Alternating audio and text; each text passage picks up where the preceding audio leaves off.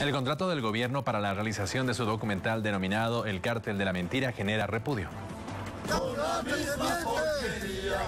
Codelpa agrupa a dirigentes del magisterio, exdirigentes campesinos y de otros sectores. Todos son opositores al gobierno. La protesta de este viernes estuvo enfocada en el documental El cártel de la mentira. Nos está queriendo quitar el derecho a la información. El mismo trabajo que presenta el señor Sarari es un trabajo totalmente mediocre, porque solo ha pegado con ese costo elevado determinadas entrevistas en forma de titulares y además en forma totalmente interesada, descontextualizada.